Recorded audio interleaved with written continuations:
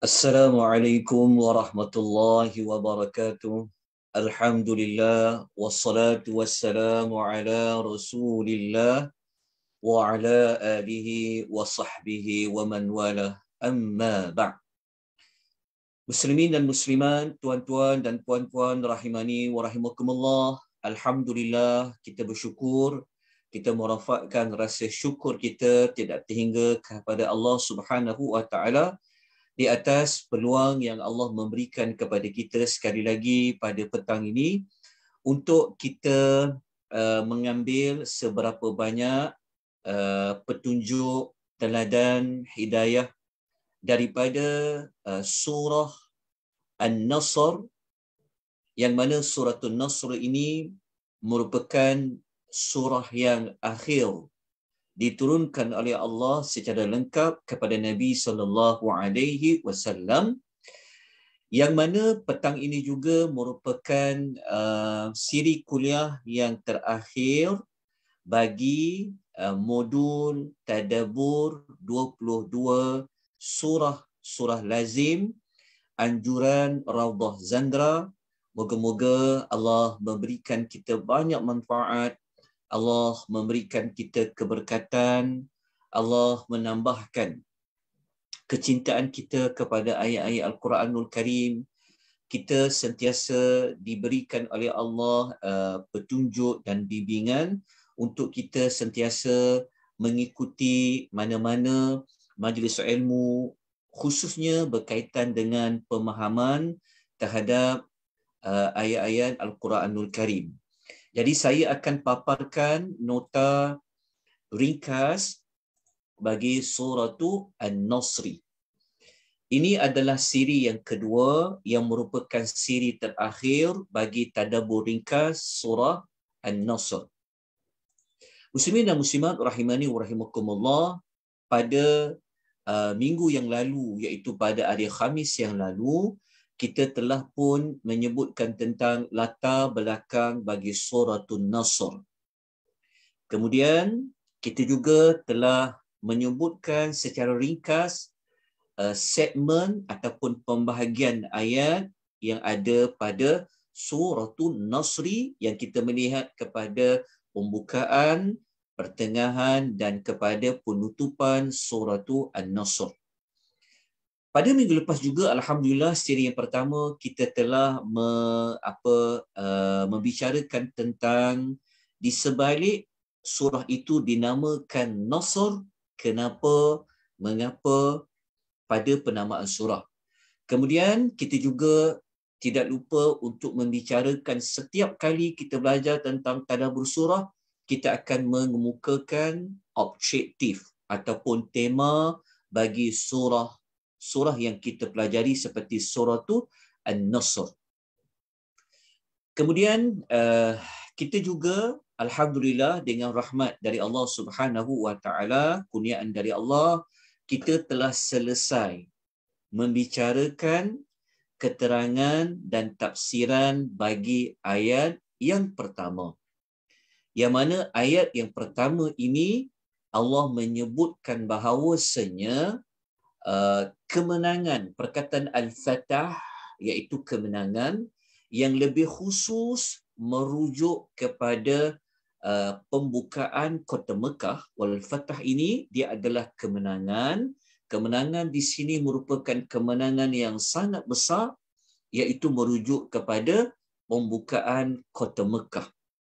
Jadi pembukaan kota Mekah ini wal fatah ini ia tidak akan berlaku melainkan ianya uh, hasil daripada pertolongan dari Allah Subhanahu wa taala. Sebab itu kalau kita tengok pada ayat yang pertama, kita akan menemui uh, perkataan nasrullah dan perkataan wal fatah. Kita mengetahui uh, apa saja kemenangan ia berkaitan dengan pertolongan Allah. Disebut Nasrullah, kita telah ulas uh, bahawa kenapa disebut Nasrullah, kemudian ada kalimah wal-fatah.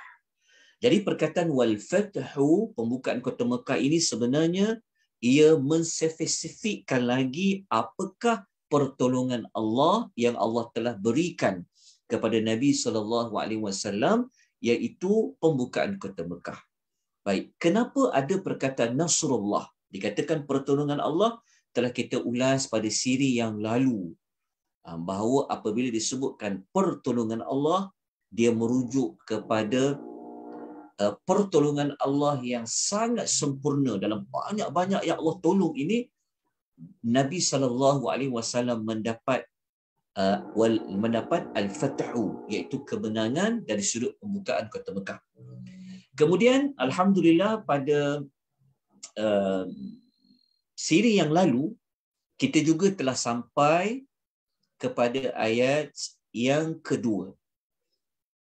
Ayat yang kedua dalam surah An-Nasr ini Allah menyebutkan tentang uh, setelah pembukaan kota Mekah itu berlaku apakah uh, hasil ataupun kita kata uh, akibat daripada pembukaan kota Mekah ini Allah Subhanahu wa taala telah menceritakan kepada kita kalau kita lihat konteks ayat ni sasarannya waktu Allah itu menyasarkan kepada Nabi SAW, Allah mengatakan bahawa dapat dilihat dengan kedua mata Nabi SAW bahawa manusia daripada segala pelusuk bangsa Arab daripada pelbagai uh, negeri yang berdekatan dan sebagainya mereka telah beramai-ramai masuk ke dalam agama Allah. Ha, kenapa disebut agama? Lepas tu ada perkataan Allah telah pun kita nyatakan apabila sesuatu itu disandarkan kepada Allah seperti Nasrullah, pertolongan Allah. Ha, menunjukkan pertolongan itu merupakan pertolongan yang sangat besar. Apabila disandarkan din nillah agama Allah merujuk kepada agama itu adalah agama yang mulia. Merupakan agama yang agung. Merupakan agama yang diredai oleh Allah Azza wa Jalla. Sebab itu diletakkan perkataan din perkataan din. Dia kata dini dinilah mudah mudah je apabila perkataan itu disandarkan kepada Allah seperti nasrullah dinillah ha, merujukkan apa yang disandar itu mempunyai kedudukan keutamaan keagungan yang dikaitkan dengan Allah Subhanahu wa taala. Okay, cuba kita perhatikan ayat nombor dua ni. Kalau kita lihat pada uh, kalimah yadkhuluna. Uh, yadkhuluna sebenarnya Allah menggunakan uh, kata kerja uh, yang menunjukkan ia sedang berlaku.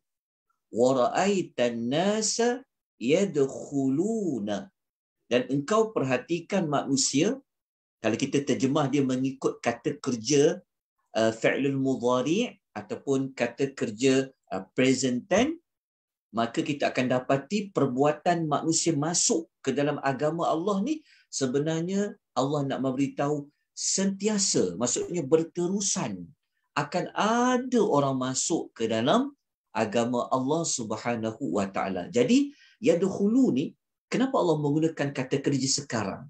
Kenapa Allah tak kata uh, manusia telah masuk dakhalu ke?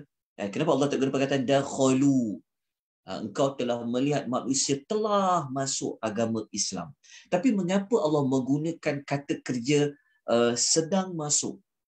Menunjukkan penggunaan pemilihan kata kerja fa'ilul mudhari' pada yadkhuluna menunjukkan bahawa sentiasa akan berlakunya manusia ini masuk ke dalam agama Allah.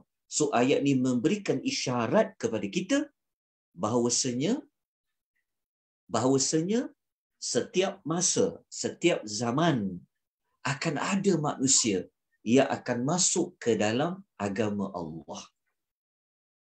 Sebab itu uh, apa uh, akan sentiasa akan ada sentiasa manusia masuk ke dalam agama Allah. Syarat dia kalau nak pastikan manusia itu sentiasa masuk ke dalam agama Allah, maka kita terikat dengan nasrullah, iaitu pertolongan Allah. Jadi, ayat kedua, dia berkait rapat dengan nasrullah. Jadi, ayat kedua ni memberi isyarat kepada kita, akan ada sentiasa manusia akan masuk ke dalam agama Allah. Dan kita sedia maklum kan, ah, bahawasanya umat Islam ni semakin lama semakin bertambah. Semakin lama semakin berkembang. Apatah lagi di akhir zaman. Jadi ini ayat yang kedua. So ayat kedua ni alhamdulillah telah pun kita ulas pada uh, minggu yang lepas. Jadi sesiapa yang terlepas tak sempat nak mengikuti, jadi tuan boleh lihat di uh, apa rakaman di uh, laman FB uh, Malaysia Tadabur Academy ataupun nanti boleh melihat di rakaman di YouTube ada uh, Akademi Tadabur Malaysia tuan lihat pada Tadabur Surah An-Nasr. Jadi ini adalah uh, huraian ringkas ya kita menggunakan pendekatan tadabur secara ringkas. Okay. Jadi kita pergi kepada keterangan dan tafsiran ayat yang ketiga. Uh, inilah yang kita nak uh, perincikan lagi pada petang ini walaupun pada minggu yang lalu telah pun kita perincikan. Okay. Namun ada beberapa persoalan yang kita nak rungkaikan pada ayat yang ketiga. Okay. Ayat yang ketiga ni, jika kita nak nak kaitkan dengan ayat dua dan ayat satu, jadi ayat ketiga ni dia menjadi uh, menunjuk kepada cara nak bersyukur di atas nikmat orang masuk ke dalam agama Allah ini beramai-ramai hasil pembukaan kota Mekah. Jadi ayat ketiga ni adalah menjadi ayat yang menunjukkan kepada cara mensyukuri nikmat Allah telah membuka kota Mekah.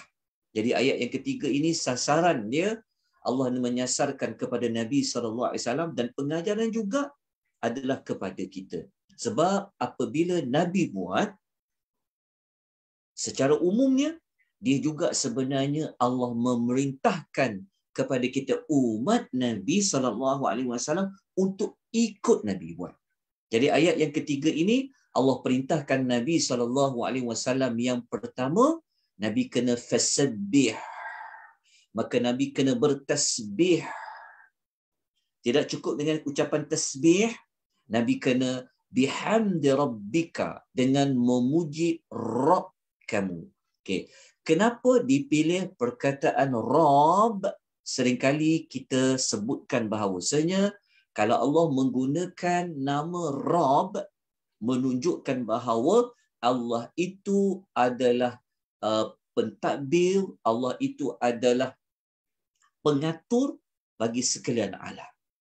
Jadi Allah yang mengaturkan bahawasanya Mekah ini akan dapat ditawan, akan dapat dibuka.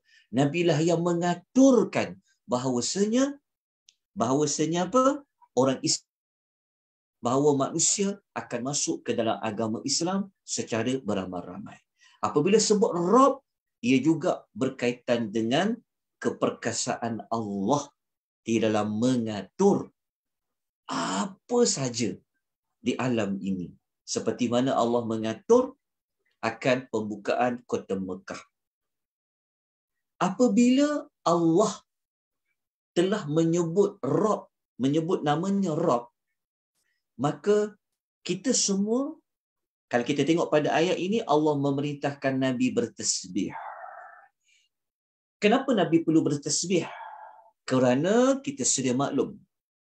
Apabila kita bertasbih, ia membawa maksud kita mensucikan Allah daripada segala kelemahan. Kita mensucikan Allah daripada segala kekurangan. Kita mensucikan Allah daripada segala perkara yang tidak layak disandang, dikaitkan dengan Allah Subhanahu wa taala. Sebab semua orang tidak menyangka bahawa Nabi Muhammad sallallahu alaihi wasallam ini berjaya menawan kota Mekah dalam keadaan yang aman tanpa berlakunya uh, pertumpahan darah. Sehingga kan uh, apa uh, manusia-manusia yang yang yang yang selama ini menjadi musuh tegar kepada agama Islam yang pernah membunuh umat Islam yang lain yang ingin membunuh Nabi sallallahu alaihi wasallam sehingga Nabi terpaksa berhijrah ini akhirnya mereka tidak berdaya membuat apa-apa. Kenapa? Kerana Allah Subhanahu wa taala lah punca penyebab kepada perkara itu. Karena Allah ni dia Maha perkasa. Ha, jadi untuk mengatakan Allah ni sangat sempurna kan dari sudut dari sudut kebesarannya dari sudut Allah Taala ni dia tidak ada sebarang sifat yang lemah bagi dia. Maka oleh itulah disuruh oleh Allah kepada Nabi untuk bertasbih mensucikan Allah. Betul bila kita bertasbih? Sebenarnya kita telah mensucikan Allah daripada segala kelemahan. Dalam masa yang sama Allah meminta kepada Nabi untuk memuji Allah Subhanahu wa taala. Kalau memuji Allah ni kita pun sedia maklum bahawa kalau kita memuji Allah kita telah membuat perakuan bahawasanya Allah Taala ini layak patut untuk diberikan puji-pujian. Tidak ada sedikit ruang pun Allah Taala itu tidak layak untuk diberikan puji pujian. Apa saja yang Allah buat, Allah layak dipuji. Apa saja takdir, ketentuan yang Allah takdirkan, ia layak untuk dipuji. Walaupun kita memandang, melihat apa yang Allah buat itu memberi kesan buruk kepada kita. Kan? Kita tak suka menerima musibah, kita tak suka susah, kita tak suka bersedih. Tetapi kita terlupa bahawa yang mengaturkan kita sedih, kita susah, kita menang, kita kalah dan sebagainya, semua itu adalah ketentuan Allah. Maka apa saja tindakan yang Allah lakukan, maka Allah Ta'ala ini layak untuk diberikan puji pujian. Kemudian Allah perintah kepada Nabi supaya Nabi sallallahu alaihi wasallam beristighfar. Ah, memohon keampunan kepada Allah Subhanahu wa taala. Kenapa Nabi perlu memohon keampunan kepada Allah? Sedangkan Nabi ini maksum, terpelihara daripada melakukan dosa-dosa besar dan terpelihara daripada dosa. Tapi kenapa Allah suruh Nabi ini beristighfar? Inilah persoalan yang kita uh, telah uh, tinggalkan untuk dirungkaikan pada petang ini. Kenapa Nabi Allah perintahkan dia beristighfar? Jadi untuk tahu jawapan dia, mari kita lihat uh, ulasan uh, yang dikemukakan oleh uh, Syekh Muhammad Al-Amin Al-Shanqiti di dalam tafsir uh, Adwa Al-Bayan. Okey. Hikmah pertama. Kenapa Allah memerintahkan Nabi beristighfar? Jawapan pertama, istighfar ini adalah ibadatun katasbih. Kata Syekh Muhammad Al-Amin Al-Shanqiti rahimahullah, dia mengatakan istighfar ni dia ia merupakan satu bentuk ibadah macam tasbih. Kan? Macam kita bertasbih. Bertasbih itu ibadah. Istighfar itu beribadah juga. Minta keampunan Allah satu ibadah. Mensucikan Allah itu adalah ibadah. Jadi kedudukan istighfar dia sama macam bertasbih dari sudut itu adalah ibadah. Kenapa ibadah? Kita telah ulas tentang perkataan ibadah. Ibadah iaitu apa sahaja yang Allah suka, Allah redha, ia adalah ibadah. Apa saja. Sama ada pada pengucapan, sama ada pada perbuatan, zahir atau batin. Apa saja yang Allah suka, Allah redha, itulah ibadah. Jadi bertasbih mensucikan Allah adalah ibadah, beristighfar kepada Allah juga adalah ibadah. Jadi nak beribadah tidak perlu mempunyai dosa. Maksud dia, kata Syekh Muhammad Amin, kenapa Nabi kena beristighfar? Kerana walaupun Nabi ini terpelihara daripada dosa, Nabi tetap diperintah oleh Allah untuk banyakkan beribadah.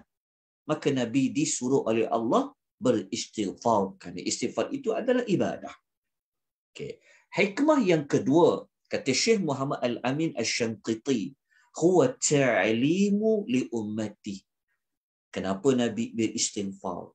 Sebenarnya Nabi beristighfar adalah sebagai tunjuk ajar kepada umatnya. Sebab Nabi ni kan kita jadikan dia sebagai qudwatu hasanah, uswatun hasanah. Contoh yang terbaik.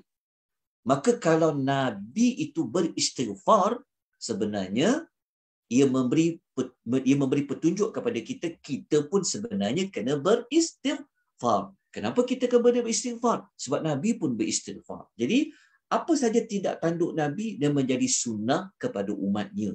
Maka Nabi beristighfar memberi petunjuk bahawa kita pun sebenarnya kena beristighfar. Okay, itu hikmah yang kedua. Hikmah yang ketiga, kenapa Nabi perlu beristighfar? Kerana istighfar ini adalah raf'u li, li sallallahu alaihi wasallam. Kerana istighfar ini dia dapat mengangkat darjat baginda sallallahu alaihi wasallam. Maksud dia macam ni. Sekalipun nabi itu dia tidak dia terpelihara daripada dosa kan? Tapi nabi beristighfar, maka istighfar itu berfungsi adalah untuk mengangkat darjat Nabi. Kalau macam kita, kita beristighfar, fungsinya adalah untuk menghapuskan ataupun menutup dosa-dosa yang kita lakukan. Tapi kalau Nabi, dia tidak berdosa, maka kenapa dia istighfar? Jawapannya istighfar itu berfungsi untuk mengangkat lagi darjat kedudukan Nabi sallallahu alaihi wasallam di sisi Allah Subhanahu wa taala. Dan inilah jawapan kepada kenapa Allah perintahkan Nabi beristighfar. Kemudian Allah perintahkan Nabi kalau kita baca pada ayat nombor tiga tu Allah perintahkan Nabi supaya apa? Supaya Nabi ini juga bertaubat. Innahu kana tawwaba. Sesungguhnya dia itu Allah Maha penerima taubat. Dia ada kaitan dengan istighfar tadi. Allah itu maha penerima, menerima taubat. Okay. Kalau tuan-tuan masih ingat, pada siri yang pertama, kita telah menyatakan bahawasanya penurunan surah An-Nasr ini menjadi isyarat kepada kewafatan Nabi sallallahu alaihi wasallam. Okay, surah An-Nasr ini adalah surah yang memberikan tanda petanda bahawa Nabi tidak lama lagi akan wafat. Akan wafat. Jadi apabila Nabi akan wafat, kita tahu apabila wafatnya Nabi sallallahu alaihi wasallam, dia akan kembali kepada siapa? Dia akan kembali kepada yang Maha Pencipta. Jadi nak kembali kepada Allah yang Maha Pencipta itu perlu ada bekal apa? Perlu buat apa? Ha, nombor satu, kalau kita lihat kepada ayat ini, kita kalau kita nak bertemu dengan Allah Azza wa Jalla, maka yang pertama, sudah pastilah kita kena menyelesaikan apa tanggungjawab kita yang Allah bebankan kepada kita. Nabi SAW Tanggungjawab dia adalah dakwah, ajak orang kepada kebaikan, cegah orang daripada kemungkaran, ajak mereka kepada mensyiah, kepada mentauhidkan Allah. Tugas itu Nabi telah lakukan 10 tahun di Mekah dan Nabi lakukan 13 tahun ketika Nabi berada di Madinah. Tanpa ada erti rehat, Nabi jalankan tugas dia. Dan akhirnya tugas Nabi itu Allah telah memberikan pertolongannya dengan ramainya orang masuk ke dalam Islam setelah pembukaan kota Mekah. So apabila tugas Nabi dah selesai, Nabi nak buat apa lagi? Itulah yang ayat ni turun memberi isyarat bahawa petanda kepada Nabi akan kembali bertemu dengan Allah Azza wa Jalla. Kerana tugas Nabi dah habis. Selesai dah untuk untuk apa? Untuk apa? Uh, menyampaikan dakwah. Sebab tugas Nabi menyampaikan dakwah adalah bawa orang masuk Islam. Sekali orang dah masuk Islam dah. Ramai-ramai Nabi dapat melihat ia semasa hidup Nabi sallallahu alaihi wasallam. Itu, itu yang pertama. Yang kedua, untuk bertemu dengan Allah ini mesti ada bekalan dia. Apa bekalan dia? Itu kita sebut tadi itu. Iaitu taubat. Walaupun Nabi itu dia tidak berdosa, tetapi dia bagi contoh kepada kita semua. Begitu juga Nabi saluran jalan nak ke taubat itu adalah beristighfar. Lepas tu memperbanyakkan puji-pujian kepada Allah wa azza wa jalla. Okay, nanti kita akan kupas dekat tindakan selepas tadabbur. Okay, ini telah kita terangkan. Okay. Selepas ayat ini turun ya, tuan-tuan dan puan ya, setelah ayat ini turun, kita kena tiru macam Nabi. Nabi ni, kalau Allah perintahkan, mana-mana perkara, Nabi akan buat. Maka ayat tiga ni, Allah perintahkan Nabi bertasbih dan Nabi kena memuji Allah dan Nabi kena beristighfar. Nabi buat apa yang Allah perintahkan.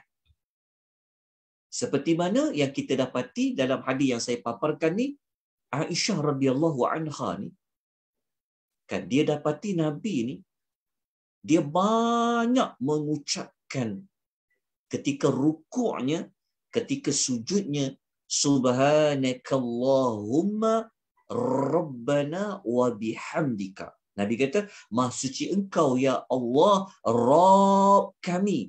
Dan dengan memujimu, Allahumma ufilli. Dan ampunilah aku.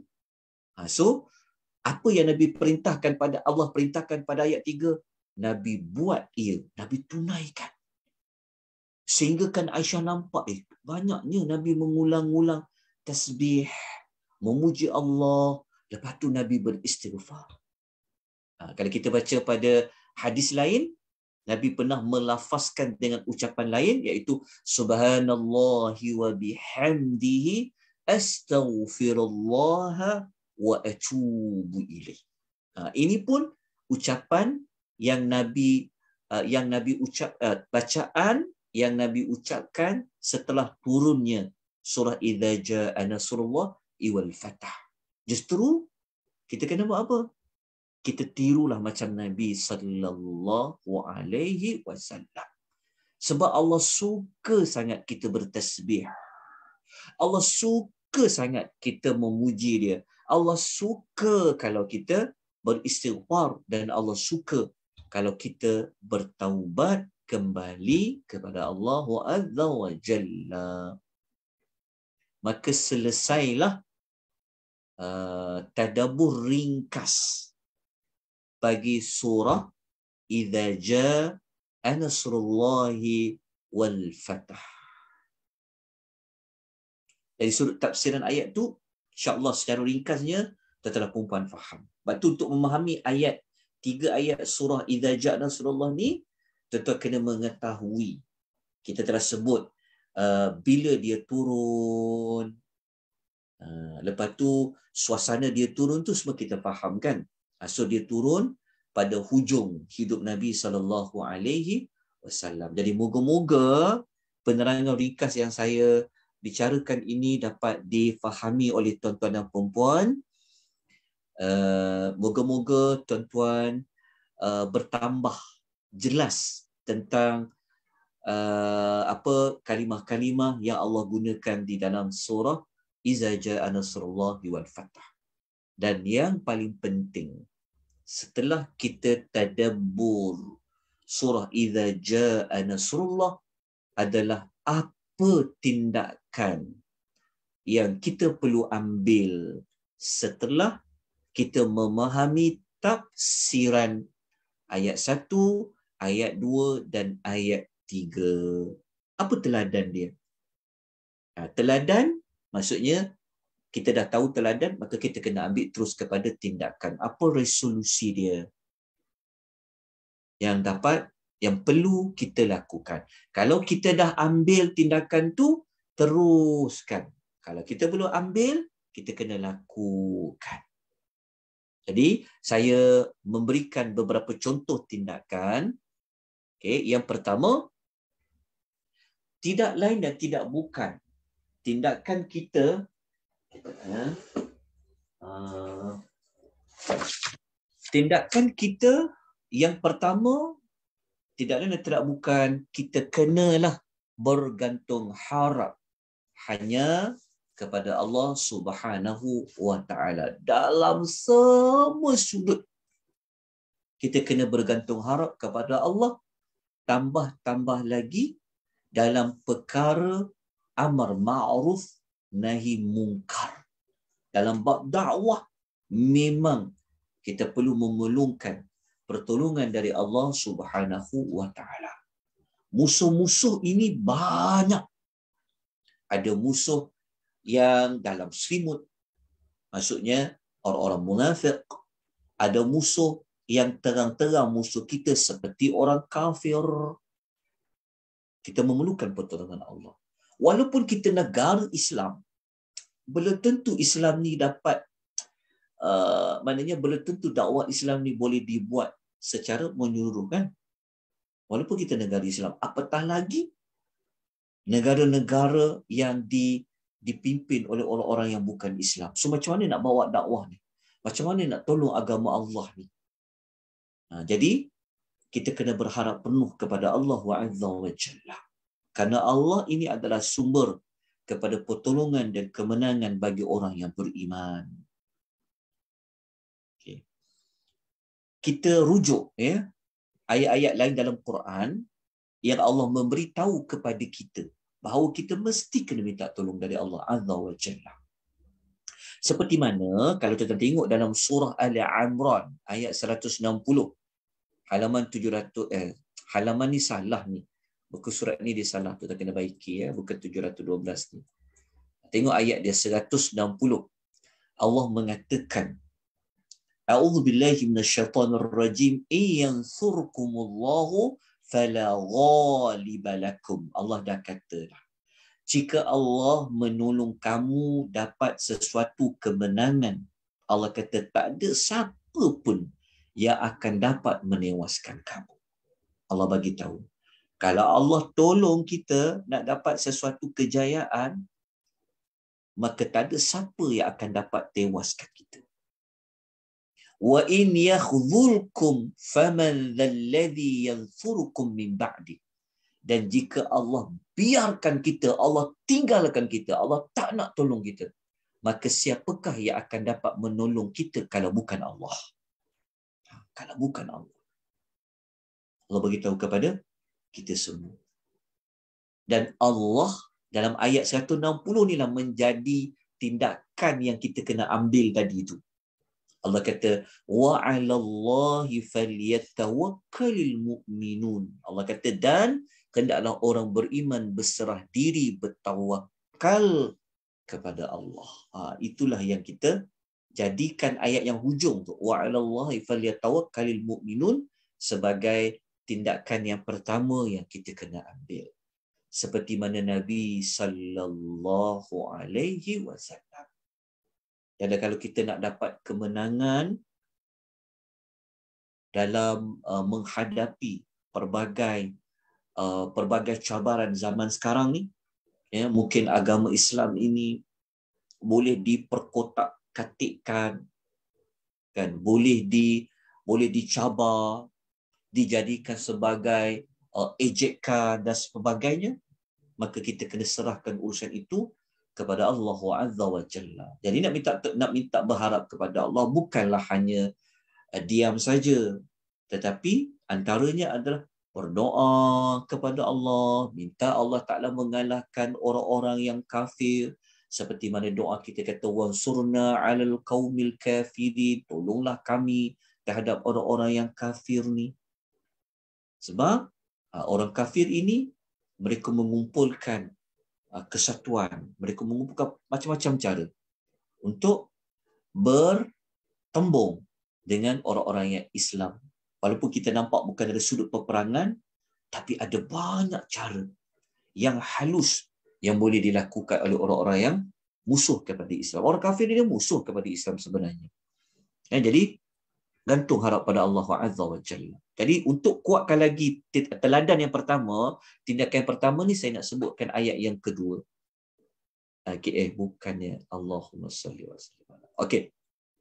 Kita pergi kepada hadis Nabi lah. Hadis riwayat uh, Imam Tirmizi, Nabi kata in sa'alta fas'alillah wa idza ista'anta fasta'in billah. Jika kamu nak minta sesuatu, mintalah daripada Allah. Apabila nak minta pertolongan, mintalah pertolongan Allah Subhanahu wa taala. Itu adalah teladan yang pertama. Okay. Yang kedua. Ha.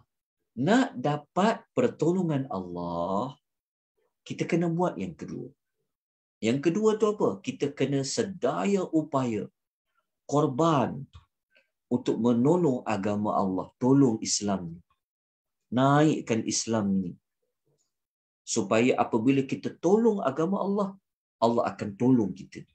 Sekarang kita minta pertolongan Allah tapi kita tak buat apa-apa. Tak boleh. Kita kena tunjukkan dulu. Kita kena buktikan apa yang kita dah buat pada agama Allah Subhanahu Wa Taala. Kita kena kita kena bagi kefahaman manusia ini mengajak manusia ini kembali kepada Allah dan Rasul. Sebab sekarang banyak sangat kurafat-kurafat. Banyak cita-cita tahyul. Banyak benda-benda yang yang manusia ni dah tak kembali kepada Quran dan hadis dah contoh. Kan? Jadi kita kena perjuangkan. Tolong naikkan wahyu Al-Quran ini, bumikan Al-Quran ini supaya dia menjadi uh, dia menjadi panduan hidup bagi manusia. Tolong agama Islam, dakwah. Tunjukkan Islam ini adalah agama yang rahmat. Bantu agama Allah Azza wa Jalla. Kalau ada orang hina, kita kena lawan. Kalau ada mana-mana menjadikan agama Allah ni sebagai ejekan, kita kena tentang. Jangan berdiam diri. Tuan-tuan ada tuan-tuan ada kemahiran dalam media sosial kan? Masukkan, bawa orang. Jangan bazirkan nikmat media sosial dengan tidak mengajak orang kepada agama Allah. Jangan bazirkan masa. Kita boleh update maklumat-maklumat lain. Tapi kenapa kita tak ajak orang sebarkan uh, uh, sebarkan maklumat majlis ilmu pun susah nak buat. Nak sebarkan ayat Quran dikongsikan satu patah perkataan pun kadang susah nak buat. Nak ajak orang kepada sunnah Nabi pun susah nak buat. Tapi benda-benda lain kita jadi rajin. Kita boleh kongsi kita boleh kongsi gambar keluarga, kita boleh kongsi kita makan apa, kita boleh update setiap kali kita pergi ke mana, boleh update. Tapi apa yang kita buat kepada agama Allah Islam ni? Adakah Islam ini, adakah maksud kita tolong agama Allah hanya sekadar tuan kongsikan, uh, kongsikan tuan makan apa, tuan pergi ke mana, apa barang yang tuan beli, apa kekayaan yang kita ada? Adakah itu boleh membantu Islam ini disebarkan? Adakah itu boleh membantu manusia faham kepada kembali kepada Al-Quran, kembali kepada hadis Nabi? Fikir-fikirkan. Sebab Tindakan yang pertama tadi dia bergantung kepada apa yang kita buat untuk tolong agama Allah. Ini pesanannya juga kepada semua orang Islam. Kan kita jadi takut dengan bangsa lain, takut dengan agama-agama lain. Sedangkan Allah Allah telah bagi turunkan ayat Quran. Allah kata Allah akan tolong. Saya akan tunjukkan tuan-tuan ayat dia. Ha, ayat pertama, tengok Allah kata. Allah bagi tahu ni. Dalam surah Muhammad ayat nombor tujuh. Ha, kita akan jumpa Allah bagi tahu. Ya ayyuhallazina amanu wahai orang yang beriman in tanfurullaha yansurkum. Allah kata jika kamu menolong agama Allah pasti Allah akan menolong kamu. Allah akan bagi syarat dah. Wahai orang yang beriman buktikan keimanan kamu. Kalau kamu tolong Allah iaitu tolong agama Allah pasti Allah akan menolong kamu. Apa nak tolong agama Allah kalau kita kalau nak tolong agama Allah nak nak nak bawa orang kepada dekat kepada Allah kan kita kena bantu. Itu adalah maksud tolong agama Allah bawa manusia kembali kepada Allah. Perangi kurafat perang, perangi syirik perangi benda-benda tahyul tapi apa yang kita buat? Ini yang ada semakin kita maksudnya apa yang kita buat? Kita benarkan konsep besar-besaran. Apa yang kita buat? Hibur Inilah sebenarnya yang menyebabkan susah untuk mendapat pertolongan Allah. Tapi ketika susah baru nak minta tolong Allah, tolong Allah. Tapi Allah bagi tahu kalau kalau kita tolong agama Allah, pasti Allah akan tolong kita. Itu jawapan dia. Kalau dapat pertolongan Allah Azza wa Jalla. Sebab Nabi dah buat sedaya upaya menggadaikan nyawa dia, kehidupan dia, tenaga dia adalah untuk menegakkan agama Allah bawa orang kepada mengisahkan Allah. Karena zaman sekarang ni pada-pada tahyul kurafat semakin lama semakin bersembang. Ajaran sesat semakin lama semakin banyak. Okey, kemudian dalam ayat lain kita tengok dalam surah Al-Hajj ayat nombor 40 Allah kata apa? Allah bagi tahu. Wala yansurun wala yansurannallahu may yansuruh. Allah kata Allah akan menolong siapa-siapa yang menolong agamanya.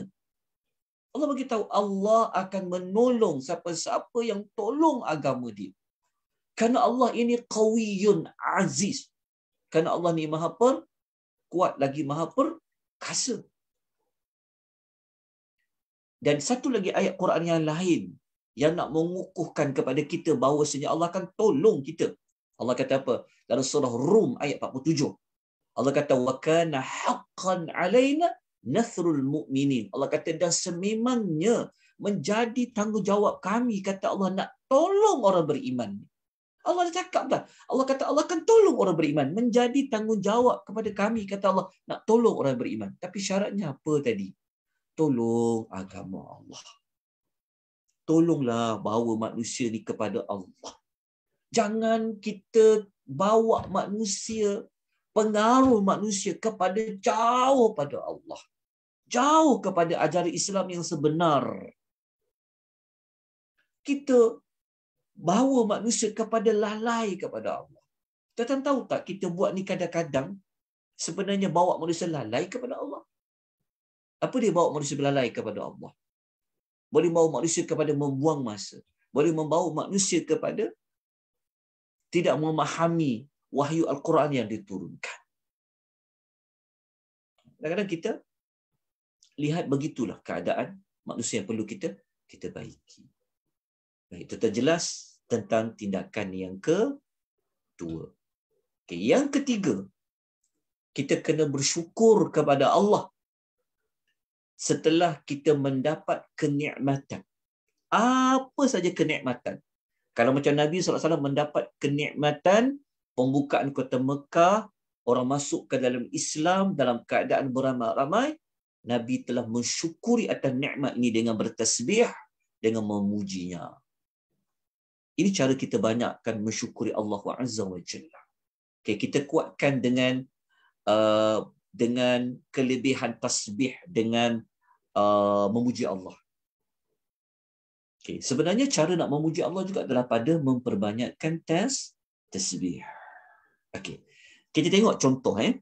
Dalam hadis Nabi sallallahu alaihi wasallam, Nabi Nabi sallallahu alaihi wasallam menyatakan dalam sabdanya riwayat Muslim, "Maukah aku bagi tahu kepada kamu kalimah yang paling dicintai oleh Allah?"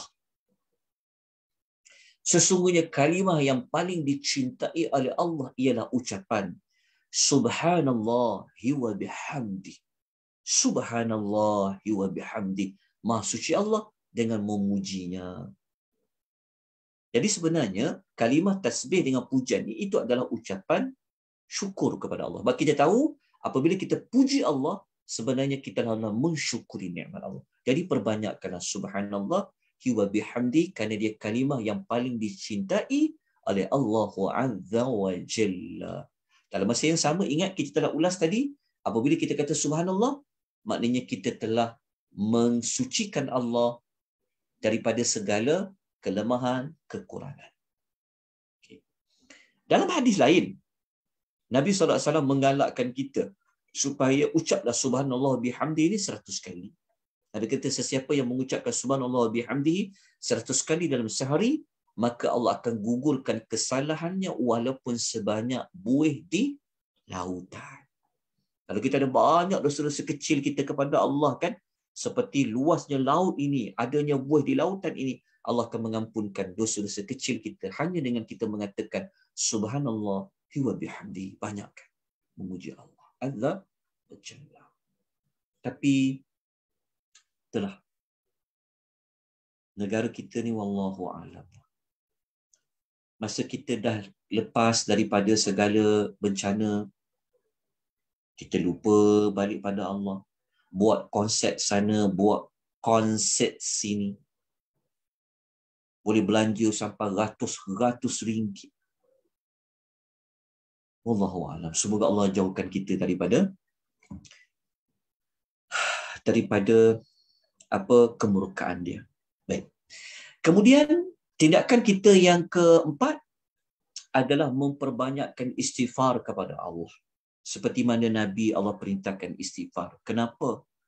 Kerana kita ni banyak kurangnya. Banyak salah kita kepada Allah Azza wa Jalla. Okay, saya kuatkan istighfar dengan taubat ni. Tengok dalam hadis ya. Nabi SAW riwayat Bukhari, Nabi sendiri mengatakan, demi Allah, kata Nabi, aku ni, kata Nabi, memohon beristighfar kepada Allah dengan ucapan astaghfirullah wa atubu ilaihi. Nabi kata, aku sendiri minta ampunan Allah dan bertaubat kepadanya dalam sehari lebih daripada 70 kali. Nabi kata lebih daripada 70 kali Nabi beristighfar minta keampunan Allah. Jadi kita boleh sebutlah ucapan astaghfirullah wa atubu ilaihi. Astaghfirullah wa atubu ilaihi. Boleh baca lebih daripada 70 kali. Dalam hadis yang lain kata sahabat dia kata Umar ibnu uh, ibnu Umar radhiyallahu anhu cak ya.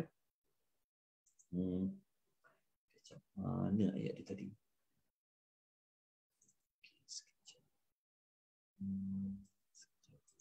Okey. Ibnu Umar, uh, kejap kenapa dia resume? Kejap tuan-puan ni saya buka balik nota ni. Okey.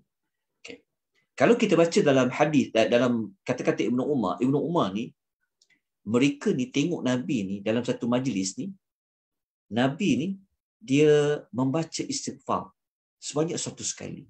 Apa dia Nabi baca? Rabbi ghfirli wa tub alayya innaka antat tawwabur rahim. Nabi dia ulang sebanyak satu sekali. Sahabat kira tengok Nabi ni sebut berapa kali? Satu, dua, sampai satu sekali. Nabi ucapkan, Rabbi ghfirli wahai Tuhanku. Ampunilah aku wa tub alayya dan terimalah taubatku. Innaka antat tawwabur rahim. Sesungguhnya engkau lah yang maha penerima taubat lagi maha pengampun riwayat Al-Bukhari.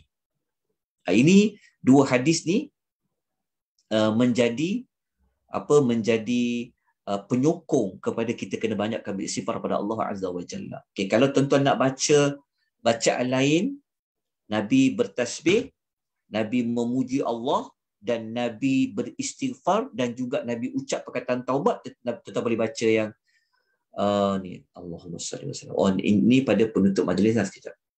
Okay. Ini juga kita boleh baca Secara umum boleh baca juga.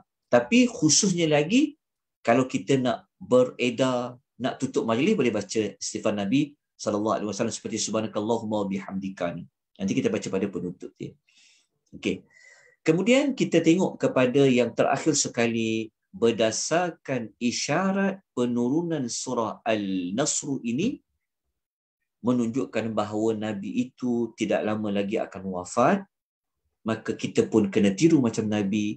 Kita kena buat persediaan untuk bertemu dengan Allah Azza wa Jalla. Uh, sebab itu surah uh, surah jadi surah An-Nasr ni memang para ulama ulas dari sudut uh, macam mana kita nak uh, bersedia untuk bertemu dengan Allah Azza wa Jalla. Sebab kita tengok macam Nabi wasallam. Cara dia kita boleh ambil yang tadi itulah. Banyakkan tasbih, banyakkan memuji Allah, beristighfar, minta bertaubat pada Allah Azza wa Jalla. Dalam perkara lain, kita boleh tengok dalam ayat 110 suratul kahfi. Ha, dan suratul kahfi Allah ada beri kita jawapan pada ayat 110. Allah kata faman kana yarju liqa'a rabbi siapa yang berharap akan pertemuan dengan Tuhannya. Siapa yang dia dia dia nak jumpa dengan Allah Azza wa Jalla maka Allah pesan dua perkara dia kena buat. Pertama, falyamal amalan salihah. Hendaklah dia mengerjakan amal yang salih wala yushrik bi'ibadati rabbi ahada dan janganlah dia mensyirikkan sesiapa pun dalam beribadat kepada Tuhannya. Ada dua. Dua tu pertama dekat sinilah. Dia kena buat amal salih, itu nombor satu. Yang kedua, dia jangan mensyirikkan Allah dengan mana-mana makhluk. Itu yang kedua. Okay, ringkasan dia, ringkasan dia, beginilah. Okay, dua amal utama nak bertemu dengan Allah ni, seperti kita ambil surah Al-Kahfi tadi tu, yang pertama adalah buat amal salih. Amal salih ni mesti merujuk kepada sesuai dengan syariat yang ditunjukkan oleh Nabi sallallahu alaihi wasallam. Yang ketiga, yang kedua, tidak melakukan syirik. Sama ada sebesar ataupun dosa ataupun syirik besar, begitu juga dengan syirik kecil. Itu juga di antara bekalan untuk kita bertemu dengan Allah Azza wa Jalla. Okey. Kalau kita rujuk dalam ayat lain ya, surah Al-Insyiqaq ayat nombor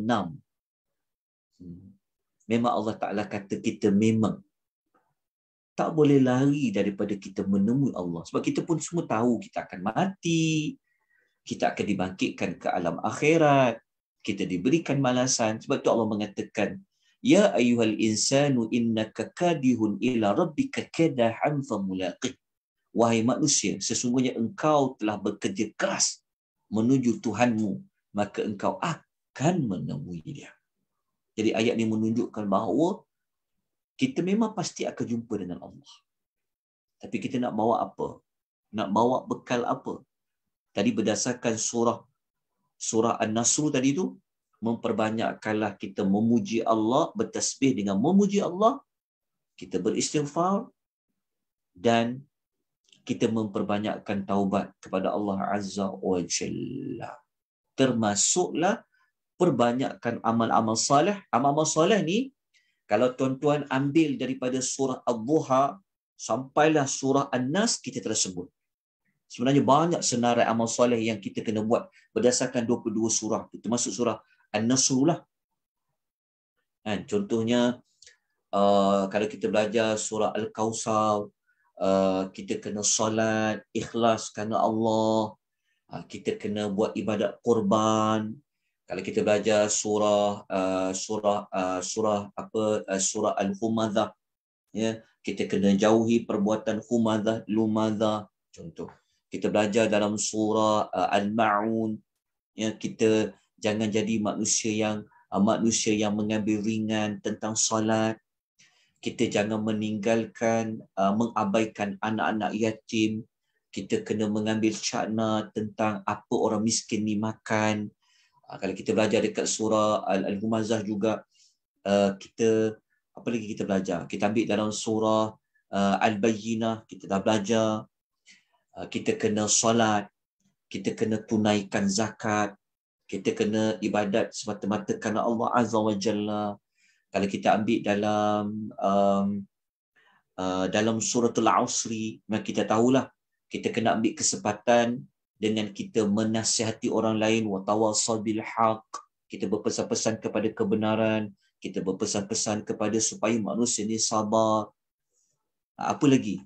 Kita boleh ambil dalam surah uh, alam uh, kita boleh ambil dalam surah wa ad-duha contoh nikmat-nikmat Allah ni kita fahadith kita kena apa? Kita kena kita kena hebahkan kita kena tunjukkan nikmat-nikmat Allah tu.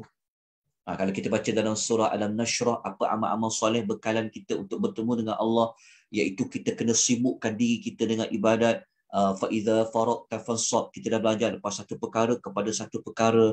Kan daripada lepas sembahyang wajib buat sembahyang sunat buat urusan dunia fokus kepada akhirat. Macam tu juga kita dah belajar dalam apa perkara pun kita kembali kepada Allah harapkan pahala kepada Allah Azza wa Jalla apa lagi kita boleh senaraikan daripada 22 surah yang telah kita pelajari termasuk surah idza jaa nasrullahi wal fath jadi tuan-tuan puan rahimani wa rahimallah maka selesailah kita bagi uh, tadabbur ringkas ya surah idza jaa nasrullahi wal fath. Jadi buat pengaturan tuan-tuan dan puan ya. Uh, tadabbur kita, program kita pada petang ini uh, sebenarnya adalah anjuran Raudhah Zandra yang mana asal-asalnya kelas ini kita uh, kita kita sempat buat dua surah Al-Duha dengan Alam Nashrah kita buat secara bersemuka. Sebenarnya asalnya kelas ni dia adalah secara offline, secara bersemuka. Tetapi apabila ada halangan untuk buat kelas secara bersemuka, kita teruskan dengan kelas online. Ha, sebab itu tuan-tuan mungkin terlepas surah Alam Nashrah dengan surah Wal-Duha. Ha, kemudian barulah kita buat kelas secara online berdasarkan surah-surah yang lain. Sampailah kepada hari ini surah An-Nasr. Jadi hari ini, petang ini merupakan penutup. Tuan-tuan, sekarang ini hujan tengah turun dengan lebat. Ha, jadi kita mohon kepada Allah, tempat saya lah. Hujan tengah turun dengan lebat menandakan rahmat Allah itu turun. Dalam masa yang sama kita minta kepada Allah supaya Allah Subhanahu Wa Taala apa uh, berikan hujan yang manfaat. Dan kita tahu tentang puan ya, apabila hujan ni turun, apabila hujan turun, ia menandakan uh, salah satu tempat yang elok kalau kita membaca doa. Uh, doa mustajab. Jadi untuk penutup kepada modul tadabbur 22 surah lazim ni maka kita tutup petang ini dengan kita membaca doa uh, doa setelah kita selesai membaca belajar 22 surah dengan pula hujan sedang turun doa memang mustajab. Dari salah satu doa mustajab adalah ketika hujan turun. Jadi kita uh, bacakan doa penutup bagi modul 22 tadabbur surah lazim ini. A'udzubillahi minasyaitonirrajim. Bismillahirrahmanirrahim. Alhamdulillahi rabbil alamin wal 'aqibatu lil muttaqin wa la 'udwana illa 'alal zalimin. والصلاة والسلام على رسولنا محمد وعلى آله وصحبه أجمعين. اللهم إنا نسألك بأنك أنت الله الأحد الصمد الذي لم يلد ولم يولد ولم يكن له كفوا أحد. اللهم ارحمنا بالقرآن. يا الله rahmatilah kami dengan Al-Quran imama wa nura wa hudan wa rahmah. Dan jadikanlah al-Quran ini adalah ikutan kami cahaya kami pertunjuk dan rahmat bagi kami. Allahumma dzakirna minhuma nusina. Ya Allah ingatkanlah kami apa yang kami telah apa yang telah dilupakan daripada al-Quran. Wa 'allimna minhuma jahilna ajarkanlah kami apa yang kami tidak ketahui daripada Al-Quran. Warzuqna tilawatahu ana al-layli wa atrafan nahar. Anugerahkanlah kami ya Allah untuk dapat membaca Al-Quran sepanjang malam, sepanjang siang. Waja'al khulana hujjatan ya rabbal alamin dan jadikanlah Al-Quran ini sebagai hujah bagi kami nanti ya Allah wahai Tuhan sekalian alam. Allahumma aslih qulubana wa adzil uyubana. Ya Allah, elokkanlah hati-hati kami. Hilangkanlah keaiban kami. Wa tawallana bil husna dan berikanlah kebaikan kepada kami. Bit taqwa dan hiasilah kami dengan ketakwaan. lana khairal akhirati wal ula himpunkanlah bagi kami ya Allah segala kebaikan akhirat dan kebaikan di dunia. warzuqna ta'ataka ma abqaitana dan anugerahkanlah kepada kami ya Allah ketaatan kepadamu selama mana engkau hidupkan kami di dunia ini Allahumma inna nas'aluka al-huda wat-tuqa wal-afafa wal-ghina. Ya Allah, sesungguhnya kami memohon kepadamu bimbingan. Kami memohon kepadamu ketakwaan dan sucikanlah diri kami ya Allah dan berilah kepada kami ini kekayaan jiwa ya Allah. Rabbana atina fid dunya hasanah wa fil akhirati hasanah wa qina azaban nar ya rab kami kurniakanlah kami segala kebaikan di dunia dan segala kebaikan di akhirat dan jauhkanlah kami daripada azab api neraka الله آه، وصلى الله على نبينا محمد وعلى آل محمد كما صليت على إبراهيم وعلى آل إبراهيم وبارك على محمد وعلى آل محمد كما باركت على إبراهيم وعلى آل إبراهيم في العالمين إنك حميد مجيد. Subhanakallah subhana rabbika rabbil izzati amma yasifun wassalamun alal mursalin walhamdulillahi rabbil alamin.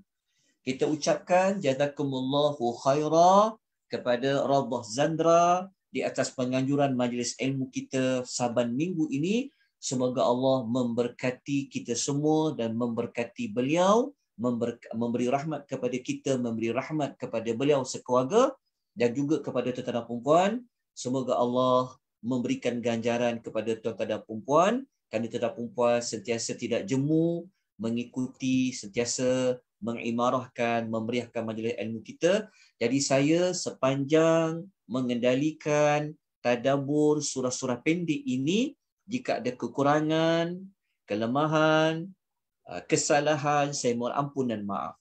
Jika perlu kepada teguran, uh, penambahbaikan, saya sangat alu-alukan daripada tuan-tuan dan puan-puan. Dan puan-puan tahu macam mana nak hubungi saya, sama ada melalui email, sama ada melalui talian WhatsApp, ataupun tuan-tuan boleh uh, boleh boleh sampaikan pada apa saja ruang moga-moga saya dapat menjadi hamba yang bertambah baik saya menjadi hamba yang uh, berusaha untuk menjadi uh, apa menambah baik diri kita tidak semestinya saya yang menyampaikan maklumat saya ini betul dalam semua perkara saya ini bagus dalam semua perkara saya bukan maksum ada banyak dan salah dan silap kita berpesan-pesan kepada kesabaran kita berpesan-pesan kepada kebenaran. Kita sudahi majlis ilmu kita pada petang ini dengan tasbih kafarah. Subhanakallahumma wa bihamdika asyhadu an la ilaha illa anta astaghfiruka wa atubu ilaih.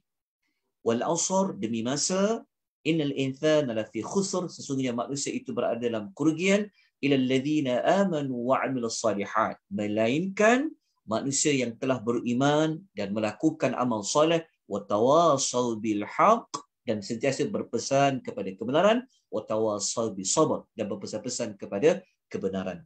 وبلا التوفيق والهداية والسلام عليكم ورحمة الله وبركاته.